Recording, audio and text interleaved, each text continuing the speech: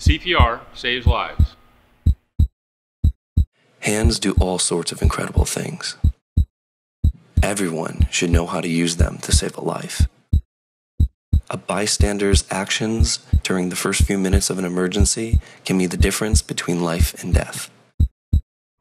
Learn hands only CPR, and your hands could save a life.